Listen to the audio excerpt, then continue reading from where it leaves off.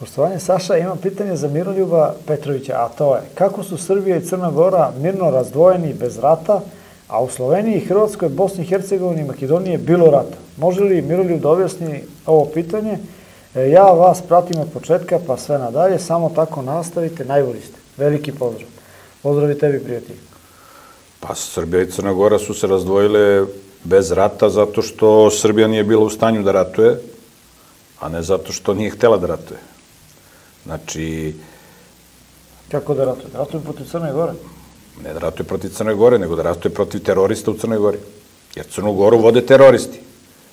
Hrvatsku vode teroristi, Bosnu i Hercegovinu vode teroristi, Sloveniju vode teroristi, Makedoniju vode teroristi. A međunarodni faktor, spoljni faktor, finansira teroriste da bi razbila državu na manje komadiće i da bi komad po komad države stavio pod svoju kontrolu. Pod kontrolu Evropske unije i NATO pakta. Znači, ti si imao teroriste u Sloveniji koji su digli ustanak protiv Jugoslavije, jer ih je finansirao spoljni faktor, Evropska unija, odnosno Vatikan. Ili, mislim, ide, ideologija Evropske unije je ideologija Vatikana. Nekada je bila Austro-Ugarska, sad je to Vatikan. Nekada je bila Pruska, pa Austro-Ugarska, sad je Vatikan. Stoji u pozdini Evropske unije. Ko ne zna, ko ne zna teologiju, on ne može da razume šta se tu dešava. I ako si, i kad pogledaš ko su u Evropskoj uniji, svi koji su lojalni Vatikanu. Gde su najveća svetska žarišta? Tamo gde je, tamo gde narodi i države nisu lojalni Vatikanu. Znači, Srbija, Rusija, sa Ukrajinom, Izrael.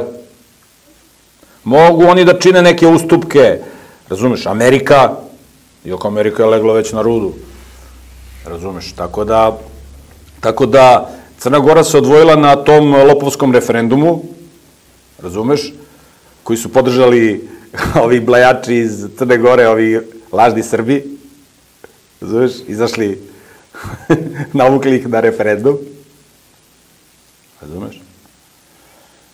Tako da se, i onda nije imao tu ko da se, nije imao ko tu da se suprostavi, Miloševića su uhapsili, ko je mogo da se suprostavi? U Srbiji su na vlasti bile ovi, ovi izdajnici dosmalije, šta su oni mogli? Ovi srpski kvazi intelektualci su pozivali Srbe da izađu na, na referendum i da glasaju da Srbija, da Crna Gora ostane u zajednici sa Crnom Gorom. U referendum bio namešten. Znači, nisi mogao da dobiješ, nema šanse. Čak su, čak je o, Evropska unija a, napravila referendum, a ovi te, teroristi u Crnoj Gori su se kao bunili. Kao neće da bude odluka 50-50, znači mora da izađe 50 1%, da, preko 50% mora da glasa za odvajanje Crne Gore od Srbije, da bi referendum, da bi se Crna Gora odvojila. A oni su, Evropska unija rekla, ne, ne, ne, nego će da bude 55%, da bi, da bi Srbe navukli, razumiješ, naivne Srbe. Mislim, kad kažem naivne Srbe, mislim na ove, narod je kovce bez pastira, ali ova elita, to je, brate, je Sodom i Gomor. To, sve, to su sve kvazi intelektualci, veliki Srbi, razumem. I onda, šta si ti tu mogo? Ti tu na Srbija bila na kolenima, dosmalije jašu Srbiju kidaju, i ko je tu mogo da se suprostavi ovaj, i, da, i da kaže nešto pametno? Razumeš? Čak evo i ovaj mitropolit koji napada Vučića, on je pozivao Srbe da izađu na referendum. Mislim, to je, to je... Prvo je mitropolit učestvovao u rušenju Miloševića. Znači, katastrofa. A posle je pozvao Srbe da izađu na referendum, na lopovski referendum. Znači, crna pogibija. I on se ne smiruje. On je tamo on najpametniji, stručnjak, sve se razume. Amfilohije. Amfilohio. Znači, on je ekspert, on su sve razume. Znači, ekspert. Mislim, ima on dobru dušu ovako.